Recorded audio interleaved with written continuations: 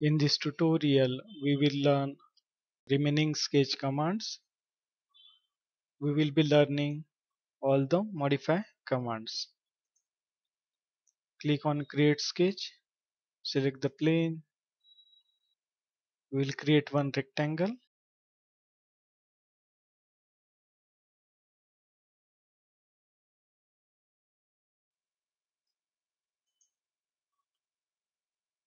In modify commands, first command is fillet. Click on fillet, select first line, select second line. Then give the radius of the fillet. You can also create fillet by clicking on the corner. Then press enter. Your fillet will be created. Now these two fillets are linked with equal constraint. If you want to give different fillet to this arc, select this equal constraint and delete it then click on dimension select the arc and you can give different fillet then press escape we have already seen the trim command. Then next is extend. Suppose I have some object here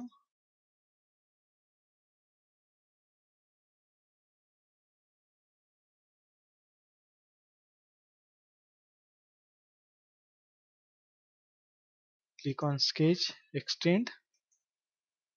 Extend will extend up to the next object. Just click on the object you want to extend.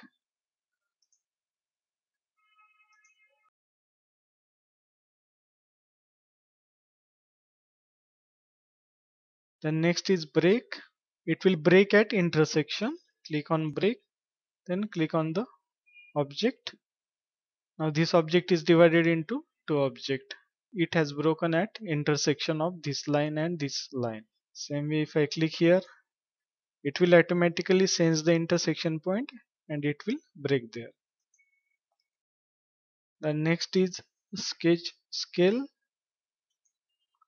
Select the object you want to scale. Then click here and select the reference point around which point you want to scale. Suppose I want to scale around this point give the scale factor. If you want to increase the size of the object give value more than 1 and if you want to reduce the size of the object give less than 1 suppose I want to increase it I will give 2 the size of object has become double. Zoom fit here. Pan it. And if you want to reduce the size give value less than 1 suppose I will give 0.5 it will reduce the scale. And click on ok again sketch. Then next is offset. If you want to create parallel objects then you can use the offset. Click on offset. Then click on the object you want to create offset for. Now it is selecting the complete chain. If you want to select a particular object only then you have to remove this tick. Then it will select the particular object and it will not select the complete chain. Click on the object then give the distance offset distance. It will offset on that distance. And if you want to change the direction place minus sign before the distance. It will change the direction. And click on ok. Again offset. Suppose I want to offset the complete chain click here and select the complete chain. Then give the distance click on ok then next is mirror. For mirror you will have to create a mirror line. We will create one mirror line. I will take this line command. Click on this construction and create one mirror line. I want to mirror around this line. Click here on this green symbol. Press escape. Then click on sketch mirror select the object you want to mirror then select here and define the mirror line and click on ok. It will mirror around that mirror line.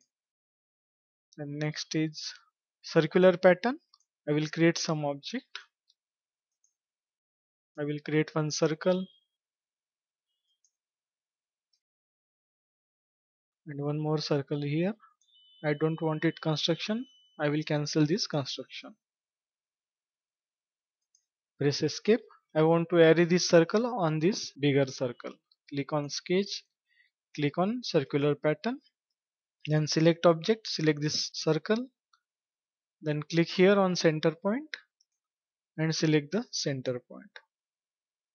Then define number of atoms. How much you want. Suppose I want it to be 6 then from here you can control whether you want full array or partial array. For partial array you can choose the angle. And then specify angle here. In how much angle you want to fit those object. And if you want to reverse the direction click before the angle value and give negative sign there. It will reverse the direction. Same way you can create symmetric array also. Your object will remain in the center and array elements will come around it. I will take this symmetric so your element is at the center and array elements are distributed around it. I will make it 7 so that it will show it properly.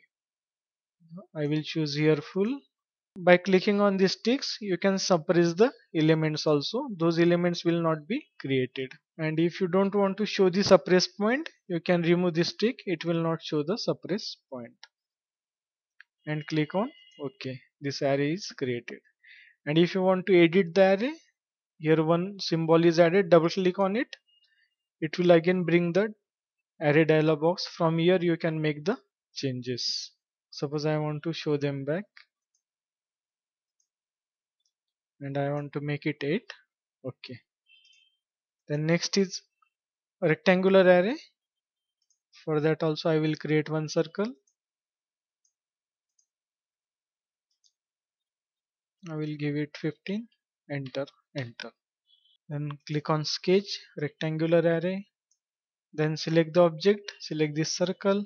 Then here you will have to specify the extent distance. That is total distance within which you want to fit the number of object. Suppose I want to fit this object in 100 distance and I want the quantity to be 5 so it will fit the object in that much distance and if you want to give gap between two atoms click here on the extent and click on spacing. In that way you can specify the distance between two atoms here you can define the quantity. Then from here you can choose it one direction or symmetric. If you use the symmetric your object will remain at the center and array will be created around it. Suppose I want it to be one direction. In same way in other direction you can give here the quantity number of atoms and the distance. How much you want? This will be the again spacing because we have chosen the spacing option. Suppose I want it to be 20 and if you want to reverse the direction then place negative sign before the distance. In that way it will reverse the direction.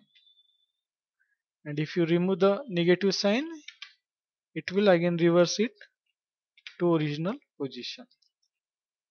Click on ok that's all thanks for watching. We will stop here